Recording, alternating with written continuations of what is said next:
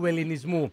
Εδώ λοιπόν από τη συχνότητά μας στους 97 και δύο μεγακύκλους για το Tri-State Νέα Υόρκη, New Jersey και Connecticut, μαζί βεβαίως φίλες και φίλοι και μέσα από το διαδίκτυο elasfm.us, τηλεοπτικά στο κανάλι 4 της πλατφόρμας του Ελλάς TV και μέσα από το application του Ελλάς FM η εκπομπή πρωινό στη Νέα Υόρκη με τον Δημήτρη Φιλιππίδη και ευθύς αμέσως περνάμε σε σύνδεση όπως σας προαναγγείλαμε με την πατρίδα. Ο Ελλάς FM α, λίγες μέρες πριν από τις κρίσιμες εκλογές της 21ης Μαΐου του 2023 σας μεταφέρει όλο το κλίμα από το πολιτικό σκηνικό, σας μεταφέρει όλες τις πληροφορίες, τα παρασκήνια και βέβαια με αποκλειστικές συνεντεύξεις με ανθρώπους οι οποίοι έχουν να μας πούν πολλά. Και ένας εξ αυτών είναι ο πρώην πλέον Υπουργός Υγείας, ο κύριος Θάνος Πλεύρης, υποψήφιος ο βουλευτής, ο κύριος Πλεύρης ο οποίος είναι μαζί μας. Κύριε Πλεύρη, α, καλημέρα, καλησπέρα στην Ελλάδα και ευχαριστώ πάρα πολύ που είστε σήμερα μαζί μας. Καλημέρα σε όλη την ομογένεια και καλησπέρα από τη μητέρα πατρίδα. καλησπέρα στη μητέρα πατρίδα, η μητέρα πατρίδα η οποία βρίσκεται σε ένα κομβικό σημείο κύριε Πλεύρη. Θέλω να πω ότι εμείς εδώ στον Ελλάς FM ε, παρακολουθούμε τις εξελίξεις ε, και βεβαίως κάνουμε ό,τι καλύτερο μπορούμε να ενημερώσουμε τον κόσμο. Πολύ κρίσιμη η εκλογική αναμέτρηση και λίγο διαφορετικά τα πράγματα και λόγω και του εκλογικού συστήματος. Ναι, ακριβώς έτσι είναι όπως τα λέτε, ότι η βάση του εκλογικού συστήματος που έχουμε πια απλή αναλογική αυτομάτως δημιουργείται ένα πολύ μεγάλο πρόβλημα σε σχηματισμό κυβέρνησης, άρα το πιο πιθανό είναι να υπάρξει δεύτερη εκλογική μάχη, αλλά οι εκλογές της 21ης Μαΐου είναι πολύ κρίσιμες γιατί θα δείξει ο ελληνικός λαός ποιος θέλει να συνεχίσει να είναι στην ηγεσία του τιμονιού της χώρας, ε, ποιος θα είναι το κόμμα που θα κυβερνά και ποιος θα είναι πρωθυπουργός και εμείς με έναν ξεκάθαρο τρόπο αναφερόμαστε ότι μια προσπάθεια που έχει γίνει όλα αυτά τα χρόνια πρέπει να συνεχιστεί με κυβέρνηση Νέας Δημοκρατίας και πρωθυπουργό τον Κυριακό Μητσοτάκη. Και, βε... και βέβαια βρισκόμαστε μπροστά σε αυτό το σύστημα, βρισκόμαστε στη δυσκολία σχηματισμού κυβέρνησης. Πολλά είναι τα σενάρια τα οποία ακούγονται. Κύριε Πλεύρη, αυτό έχει ε, βοηθήσει, αν θέλετε, στην μεγαλύτερη πόλωση και στην μεγαλύτερη, αν θέλετε, αντιπαλότητα σε ένα προεκλογικό κλίμα το οποίο νομίζω είχαμε χρόνια να το δούμε. Ναι, η αλήθεια είναι ότι εμείς προσπαθούμε να επιλέξουμε ένα πλαίσιο σύγκρισης. Ο ΣΥΡΙΖΑ με τον κύριο Τσίπρα κυβέρνησαν 4,5 χρόνια τον τόπο. Η Νέα Δημοκρατία με τον Κυριάκο Μητσοτάκη κυβερνά τώρα 4 χρόνια τον τόπο. Οπότε αυτό που ζητάμε από τους Έλληνες είναι να συγκρίνουν τις δύο κυβερνήσεις. Η αντιπολίτευση επιλέγει λίγο μία σύγκρουση, μία πόλωση και μία τοξικότητα. Διότι αυτό το οποίο λέμε εμείς είναι ότι δεν θέλει τη σύγκριση. Ε, ε, επειδή απευθύνομαι στην ομογένεια, φτάνει, εγώ αυτό θα πω μόνο στους, στους συμπατριώτες που μας ακούνε, να σκεφτούν ποια ήταν η εικόνα της χώρας το 15-19 με πρωθυπουργό τον Αλέξη Τσίπρα, ποια είναι η εικόνα τώρα με πρωθυπουργό τον Κυριάκο Μητσοτάκη και αν αισθάνθηκαν ως Έλληνες περήφανοι που είδανε τον Έλληνα πρωθυπουργό τον Κυριάκο Μητσοτάκη να απευθύνει χαιρετισμό μέσα από τη δημοκρατία της, ε, των Ηνωμένων Πολιτειών και όλοι όσοι ήταν εκεί παρευρισκόμενοι να το χειροκροτούν. Δεν νομίζω ότι υπάρχει Έλληνα, άσχετα τι ψηφίζει, που εκείνη τη στιγμή να μην αισθάνθηκε περήφανος για τον Έλληνα Πρωθυπουργό. Αυτό θέλουμε να συνεχίσουμε. Αυτή η εικόνα σίγουρα, σίγουρα μίλησε από μόνη της. Εγώ θα συμφωνήσω, κύριε Πλεύρη. Εγώ θέλω τώρα να δούμε λιγάκι και είναι σημαντικό να το τονίσουμε αυτό ε, αυτά τα χρόνια που κυβέρνησε η Νέα Δημοκρατία. Πάντοτε λένε οι πολιτικοί είναι δύσκολο, δεν μπορέσαμε να κάνουμε όλα όσα θέλαμε. Υπάρχουν πράγματα που δεν μπορέσατε να κάνετε και υπάρχουν λάθη τα οποία έγιναν και τα οποία παραδέχεστε σήμερα δημοσίως κύριε Πλεύρη; Ναι, πρώτα απ' όλα ε, θεωρούμε ότι κληθήκαμε να διαχειριστούμε τις τύχες του τόπου και αντιμετωπίσαμε τρεις μεγάλες κρίσεις. Ένταση ελληνοτουρκικών, με εργαλειοποίηση του μεταναστευτικού που εκεί εγώ θέλω να ευχαριστήσω την ομογένεια γιατί έπαιξε πολύ μεγάλο ρόλο για τα ελληνικά δίκαια. Πανδημία που την έζησε όλος ο κόσμος και ε, στο τέλος αφού, είχε, αφού περνούσε η πανδημία πόλεμος στην καρδιά της Ευρώπης με τρομακτική ενεργειακή κρίση. Μέσα λοιπόν σε όλο αυτό το πλαίσιο μπορέσαμε να κάνουμε σημαντικές αλλαγές που είχαν να κάνουν και με τη βελτίωση του κράτους.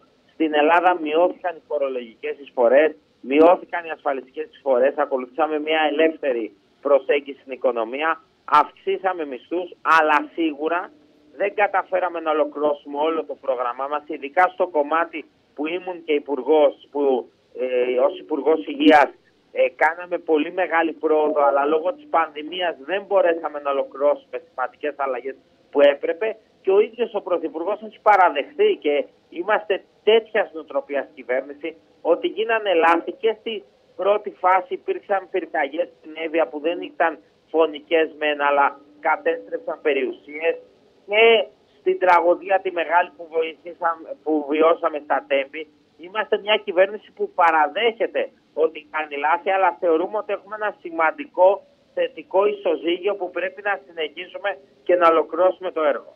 Α, για το θέμα της υγείας, κύριε Πλεύρη, πολλές φορές ακούμε το αίτημα για προσλήψεις. Πολλές φορές βλέπουμε ότι υπάρχουν τεράστια κενά ε, και κυρίως, να το πω λίγο διαφορετικά, στα νησιά για παράδειγμα, Υπάρχουν τεράστιες ελλείψεις, σε ακριτικές περιοχές υπάρχουν ελλείψεις.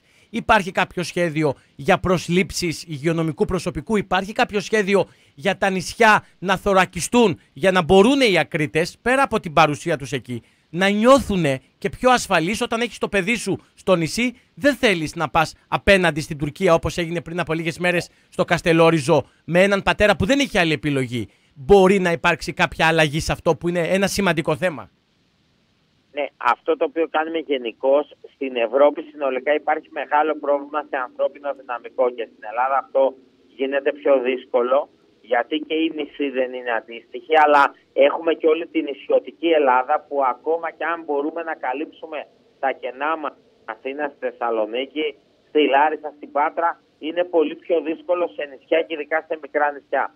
Ποιο είναι λοιπόν το σχέδιο μας που υλοποιούμε; Πρώτα απ' όλα ε, για την υλικοτεχνική υποδομή δίνουμε 1,5 δισεκατομμύριο ευρώ για 80 νοσοκομεία και 156 κέντρα υγείας να ανακατασκευαστούν. Προχωρήσαμε σε 15.000 προσλήψεις και θα γίνουν και άλλες 10.000 προσλήψεις. Ειδικά αυτό αφορά και νοσηλευτές που είναι μεγάλο πρόβλημα. Παράλληλα αυξήσαμε λίγο τους μισθούς, θα γίνει ακόμα μεγαλύτερη αύξηση, αλλά ήδη αυξήσαμε και αυτό που λέτε για τα νησιά, αυτό το οποίο κάναμε και εφαρμόστηκε πιλωτικά το προηγούμενο καλοκαίρι και τώρα θα εφαρμοστεί πιο έντονα είναι ότι για τους γιατρούς που πηγαίνουν στα νησιά παίρνουν επιπλέον 1.800 ευρώ του μισθού τους, δηλαδή φτάνουν διπλάσιο μισθό να το πούμε απλά και έχουν και καλυμμένη στέγη. Είναι ένα σημαντικό κίνητρο που έχει δείξει ότι πλέον οι αιτήσεις για να πάει κάποιος στα νησιά αυξάνονται πιστεύουμε ότι με αυτά τα κίνητρα θα αρχίσουμε να βελτιώνουμε το πρόβλημα που υπάρχει ειδικά στα νησιά. Αυτό είναι, αυτό είναι πολύ σημαντικό κύριε Πλεύρη και επειδή μιλάμε για νησιά, ξέρω είστε ένας άνθρωπος με ιδιαίτερη ευαισθησία στα εθνικά θέματα. Ε, επειδή λοιπόν γίνεται πολλή συζήτηση και υπάρχουν και πολλές αναφορές, θέλω μια ξεκάθαρη θέση από εσά. Σε αυτό που ακούγεται και σε αυτό που ακούγεται για τις πρέσπες του Αιγαίου. Είναι κάτι το οποίο, καλός ή κακός, αποτελεί, αν θέλετε, καθημερινή αναφορά πολλών οι οποίοι προσπαθούν να πούνε ότι ξέρετε κάτι, όλοι οι ίδιοι είναι οι πολιτικοί και τελικά μετά τις, της προδοτικής συμφωνίας των Πρεσπών θα πάμε, θα πάμε σε μια συμφωνία αλλά πρέσπες στο Αιγαίο. Εδώ λοιπόν θέλω να σας ρωτήσω κύριε Πλεύρη, επειδή έχουν υπάρξει δηλώσεις ότι η συνεκμετάλλευση δεν είναι ταμπού, έχουν υπάρξει δηλώσεις α, να μην είμαστε μοναχοφαγάδες από τον πρώην Υπουργό, τον κύριο Κοτζιά. Έχουν υπάρξει δηλώσεις περί, αν θέλετε, επαναπροσέγγισης με τη διπλωματία των σεισμών. Εσείς, ως γνώστης των θεμάτων αυτών, τι θα απαντούσατε σε αυτούς οι οποίοι ανησυχούν ότι αν βγει η Νέα Δημοκρατία κυβέρνηση και κάνει έναν ε, συνασπισμό με κάποιο άλλο κόμμα, θα προχωρήσει αυτό το σχέδιο για να υπάρξει μια συμφωνία συνεκμετάλλευσης στο Αιγαίο μια συμφωνία η οποία ουσιαστικά θα αποτελεί ακόμα ένα, ε, μια καταστροφή για την εθνική πολιτική της Ελλάδος. Είμαστε ξεκάθαροι, δεν υπάρχει καμία σκέψη για εκχώρηση πιθαμής εθνικών δικαιωμάτων. Δεν είμαστε η παράταξη που ποτέ θα συζητούσε τα εθνικά δίκαια. Με έναν ξεκάθαρο τρόπο καταφέραμε να θωρακίσουμε αμυντικά χώρα και με τα Ραφάλ και με τις φρεγάτες Είμαστε η κυβέρνηση που καταφέραμε να κάνουμε τεράστιες και σημαντικές αμυντικές συμφωνίες μεταξύ των οποίων και με τις ΗΠΑ και με τη Γαλλία. Έχουμε διεθνοποιήσει όλα τα προβλήματα. Δεν έχουμε καμία απολύτως εμπιστοσύνη στην Τουρκία. Ξέρουμε ότι ανα πάσα στιγμή εποφθαλμιά τα δικά μας δικαιώματα και γι' αυτόν τον λόγο είμαστε σε πλήρη επιφυλακή. Άρα δεν υπάρχει καμία απολύτως περίπτωση η Νέα Δημοκρατία να συνενέσει σε οποιαδήποτε εκχώρηση στην εκμετάλλευση μείωση εθνικής κυριαρχίας. Είμαστε μάλιστα η παράταξη που αυξήσαμε και τα ναυτικά μας μίλια, αυξήσαμε ε, τα ναυτικά μας μίλια, βάλαμε διεκδικήσεις στο κομμάτι της ΑΟΣ και να σας πω για κάτι επειδή ξέρω ότι η ομογένεια πονάει να έχει υπόψη του ότι ποτέ εμείς δεν θα δεχτούμε οποιαδήποτε συμφωνία ή συζήτηση απλή που θα έθετε σε κίνδυνο τα εθνικά δίκαια. Και να σας πω και κάτι, εδώ είναι μια μεγάλη μας διαφορά. Ότι εσείς που είστε τώρα στη Νέα Υόρκη και συνολικά στις Ηνωμένες Πολιτείες, εμείς θέλαμε, γιατί πιστεύουμε ότι όσα χρόνια και να έχετε να έρθετε στην Ελλάδα, επειδή είστε Έλληνες πρέπει να ψηφίζετε από το σημείο που είστε. Γιατί εμείς πιστεύουμε ότι το ελληνικό έθνος διατηρείται από τους Έλληνες του εξωτερικού και πρέπει να έχουν λόγο. Δυστυχώς τα άλλα κόμματα δεν στήριξαν αυτή τη θέση και τώρα εσείς δυσκολεύεστε να ασκήσετε το δικαίωμά σας και πρέπει να έρθετε εδώ πέρα. Αυτό είναι τροπή. Οι Έλληνες όπου και να βρίσκονται από τη στιγμή που είναι Έλληνες πρέπει να μπορούν να ψηφίζουν. Κύριε Πλεύρη, αυτό είναι ένα πολύ σημαντικό που αγγίζεται. Είναι μια ιστορική μέρα. Το Σάββατο 20 του Μάη, γιατί εδώ οι εκλογές θα γίνουν στην Ομογένεια μία μέρα νωρίτερα. Πρώτη φορά θα ψηφίσουν, αλλά θα ψηφίσουν. Τα νούμερα είναι απογοητευτικά. Ε, μπορώ να σας κάνω ένα ερώτημα. Θεωρείτε ότι το νομοσχέδιο αυτό το οποίο είναι κακό και νομίζω το παραδέχονται και κυβερνητικά στελέχη ε, είναι προϊόν εκβιασμών αριστερών κομμάτων που ίσως δεν θέλουν τους ομογενείς να ψηφίζουν. Ναι, ευθέως το λέω γιατί πρέπει να το ξέρουν οι πατριώτε μας στην Αμερική ότι για να περάσει η ψήφος των αποδήμων ε, με το σημείο που βρίσκονται θέλει 200 βουλευτές που δεν τους είχε η Νέα Δημοκρατία, δεν τους είχε ακόμα και σε συνδυασμό με το Πασό. Άρα αυτομάτως έπρεπε να έχουμε τις ψήφους των αριστερών κομμάτων. Αναχώματα και οι δυσκολίες που βάλαν ήταν τέτοιες που πολλοί συμπατριώτες μας δεν μπορούν να ψηφίσουν από απόσταση. Είναι σημαντικό το τι έγινε, αλλά πρέπει να αλλάξει. Και εδώ είναι η ιδεολογική μας διαφορά. Τα ίδια τα αριστερά κόμματα αισθάνονται ότι αν αύριο το πρωί έρθει ένας από οποιοδήποτε σημείο του πλανήτη στην Ελλάδα θα πρέπει να πάρει υπηκότητα και να ψηφίζει και στερούν αυτό το δικαίωμα από αυτούς που είναι Έλληνες γενιές ολόκληροι και τους ανάγκασαν οι συνθήκες να φύγουν στο εξωτερικό γιατί αυτούς τους ανθρώπους να τους κρατάμε ως βασικό κορμό του ελληνικού έθνους γιατί εγώ είμαι σίγουρος ότι αυτοί που μας ακούνε τώρα οι ακροατές οι ακροατές του Ελλάς FM έχουν μεγάλο πόνο για το τι θα γίνει στο Βοηγαίο, τι θα γίνει στη Μακεδονία, τι θα γίνει στην Κύπρο. Πόνο που δεν έχει ένας άνθρωπος που ήρθε εδώ πέρα, έμεινε πέντε χρόνια και πολιτογραφήθηκε Έλληνα. Οπότε εμείς θέλουμε οι Έλληνες όπου και να βρίσκονται να ψηφίζουν από το σημείο. Άρα δεσμευόμαστε ότι θα συνεχίσουμε στη βελτίωση αυτού του νόμου και με τη δική σας πίεση θα υποχρεώσουμε τα αριστερά κόμματα να καταλάβουν ότι το εθνικό καλό είναι να ψηφίσουν οι Έλληνες όπου και να είναι. Αυτό είναι αλήθεια γιατί θα συμφωνήσω και εδώ στην Ομογένεια ξέρετε πολλές φορές δεν ψηφίζουμε με γνώμονα τον διορισμό ή κάποιο ρουσφέτη αλλά τα εθνικά θέματα αν κάνετε μια δημοσκόπηση, είναι τα εθνικά θέματα. Ο Ελλάς FM εδώ, ο Νίκος Οφίλα και όλοι εμείς εδώ και στο μακεδονικό ε, ήμασταν οι πρώτοι που τρέξαμε και οι πρώτοι που στηρίξαμε και με ραδιομαραθωνίους και ξέρετε είναι και λίγο οξύμορο. Για τις πρέσπες χρειαζόταν 151 ψήφοι για να υπάρξει συμφωνία ενώ για την ψήφο των ομογενών απαιτούνται 200 ψήφοι κάτι το οποίο αποδεικνύει και το γελίο του πράγματος. Και επειδή αγγίζουμε αυτό το θέμα Θέλω κύριε Πλεύρη, είστε άνθρωπος ο οποίος συμμετείχε και στα συλλαλητήρια, κατεβήκατε. Τα συλλαλητήρια ήταν ακομάτιστα και το λέει κάποιος ο οποίος ήταν στο συντονιστικό και ήταν πάνω στην εξέδρα.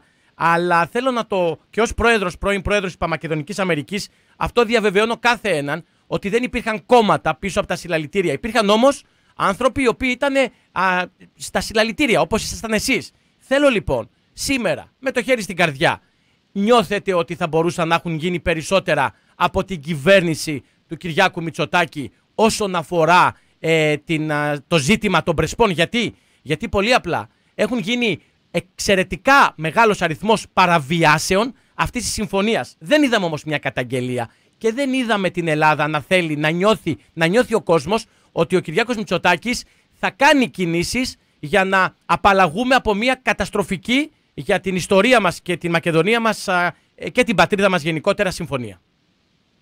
Η Νέα Δημοκρατία καταψήφισε και έκανε έναν τεράστιο αγώνα στη Συμφωνία των Πρεσπών γιατί η βασική διαφωνία είναι ότι σε αυτή τη συμφωνία για πρώτη φορά η Ελλάδα αναγνώρισε εθνότητα μακεδονική και γλώσσα μακεδονική. Άρα τελικά αυτό που θέλανε οι Σκοπιανοί το πέτυχαν.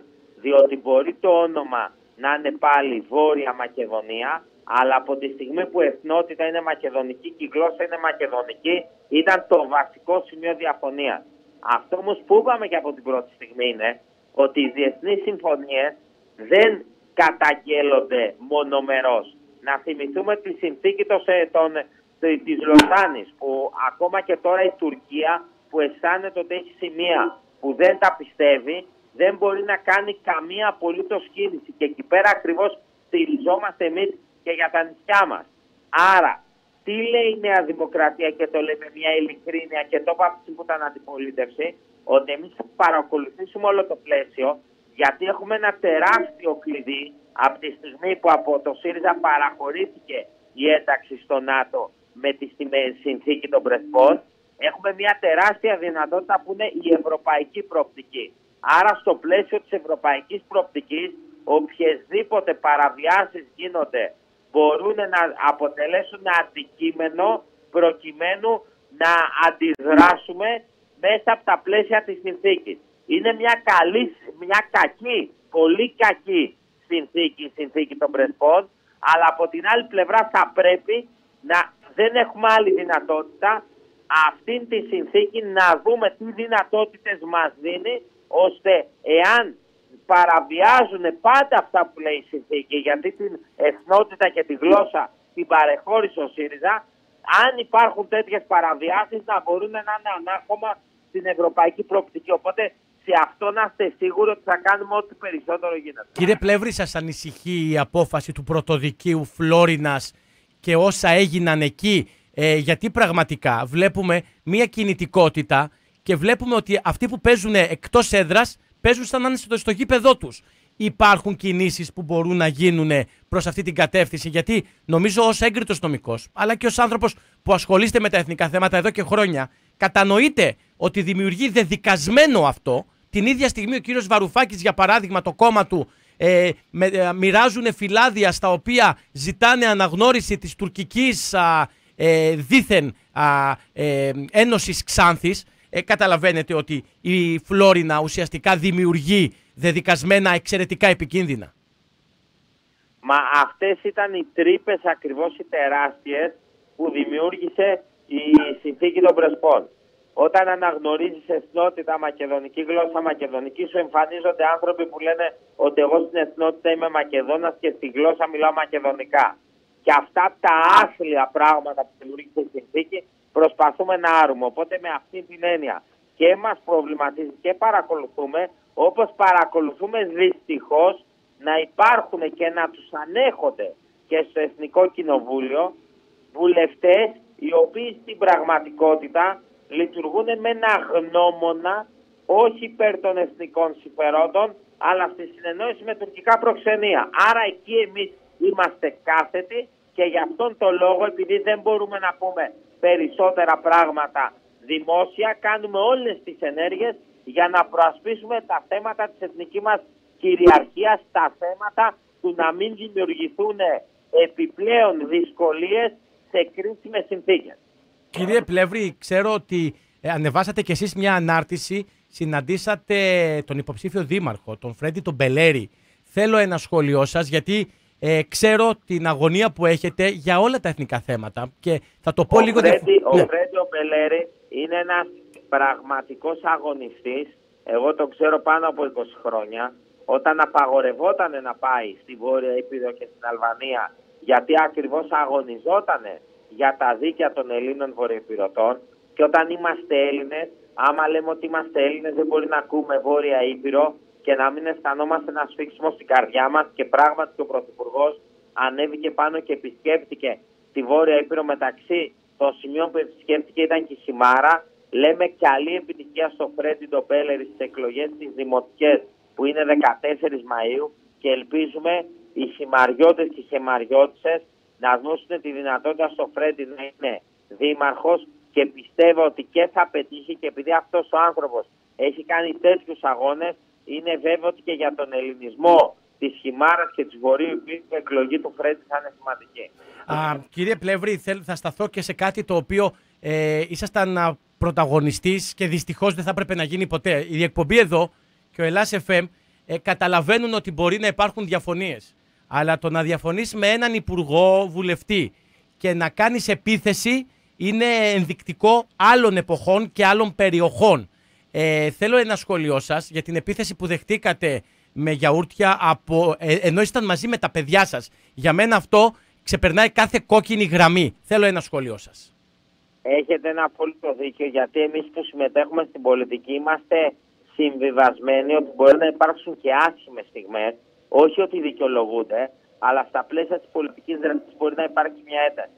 Το να γίνεται όμως αυτή η ένταση, όχι την ώρα της πολιτικής δράσης, σε στιγμή που κάθεται ο πολιτικός με τα ανήλικα παιδιά του και τη γυναίκα του, με συγχωρείτε, δείχνει για μια ακόμη φορά και το είπα πολλές φορές, τις, τις, τις ηθικές διαφορές που έχουμε με την αριστερά. Και δυστυχώς και τα κόμματα της αριστεράς δεν καταδίκασαν. Ο ΣΥΡΙΖΑ μετά από 24 ώρες καταδίκασε πολύ γενικά χωρίς να αναφέρει καν το όνομά μου.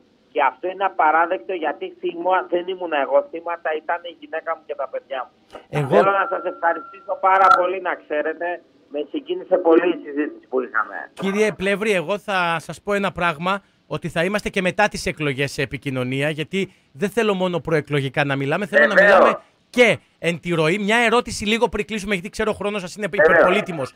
Ε, για, ε, όσον αφορά, ε, ως Υπουργός Υγείας, υπήρξε η αναφορά ότι θα σβηστούν τα πρόστιμα στους άνω των 60. Ε, θέλω από σας μια τοποθέτηση και αν θεωρείτε Ε, είναι- ότι η είναι Ελλάδα... Αυτά τα οποία έχουν, το ξέρω, αυτά τα οποία έχουν σβηστεί είναι για όλους όσους πρώτα απ' όλα σταμάτησαν τα πρόστιμα, άρα αναφερόμαστε σε 1,5 μήνα 150 Βεβαίως. ευρώ. Όσοι εμβολιάστηκαν σβήστηκαν και η- μένει εκκρεμότητα για αυτούς που δεν έχουν εμβολιαστεί. Εάν έχουν κάποιο λόγο και υπάρχουν αιτήσεις, θα σβηστούν και εκεί. Διαφορετικά παραμένουν. Μπράβο. Σας ευχαριστώ πάρα πολύ. Κύριε Πλεύρη, σας Να είστε ευχαριστώ καλά. θερμά. Καλή συνέχεια και Γεια καλ- σας. καλό αποτέλεσμα. Να είστε καλά. Φίλες και φίλοι, μαζί μας ήταν ε, ο Υπουργός Υγείας της Νέας Δημοκρατίας της κυβέρνησης, ο κύριος Θάνος Πλεύρης, ο οποίος μίλησε για όλα τα ζητήματα τα οποία αφορούν αυτή τη στιγμή την ατζέντα, ε, για όλα τα ζητήματα, φίλες και φίλοι, όσον αφορά και βεβαίως τα εθνικά θέματα. Ε, γιατί, γιατί μίλησε για το Αιγαίο, για αυτό που συζητάμε. Ε, αν, υπάρχει, αν υπάρχουν πρέσπες α, του Αιγαίου, μίλησε βεβαίως, α, ε, ήταν κάθετος αυτό εδώ πέρα, μίλησε για όλα όσα γίνονται με, τα, με, τη- με το θέμα της α, ψήφου των αποδήμων Ελλήνων, μίλησε βεβαίως και για το ε, θέμα ε, με τον, α, που- που υπάρχει και τις εκλογές οι οποίες γίνονται και τη συνάντηση που είχε με τον α, Φρέντι Μπελέρη α, και βεβαίως α, ένα μεγάλο μπράβο γιατί όλα τα εθνικά θέματα πρέπει να είναι στην πρώτη γραμμή ε, και πρέπει να υπάρχουν ε, στηρίξεις, δηλώσεις στήριξης αυτές τις κρίσιμες στιγμές. Και βέβαια ακούσατε την άποψη του κυρίου Πλεύρη. Εδώ ο Ελλάς FM θα παρουσιάσει τους υποψηφίους θα παρουσιάσει τις θέσεις. Ε, κάνουμε συζήτηση. Σε πολλά μπορεί να συμφωνούμε, σε πολλά μπορεί να διαφωνούμε. Εμείς δημοσιογραφικά είμαστε υποχρεωμένοι να κάνουμε όσες ερωτήσεις προλαβαίνουμε να κάνουμε. Από εκεί και πέρα, σίγουρα θα έχουμε την ευκαιρία τις επόμενες μέρες να δούμε πολλά και ενδιαφέροντα. Δημήτρης Φιλιππίδης πάντα στο μικρόφωνο του Ελλάς FM. Αύριο μαζί μας ο κύριος Άδωνης Γεωργιάδης και έχουμε ακόμα πολλές εκπλήξεις την επόμενη εβδομάδα. Πάμε λοιπόν, φίλες και φίλοι, σε ένα μουσικό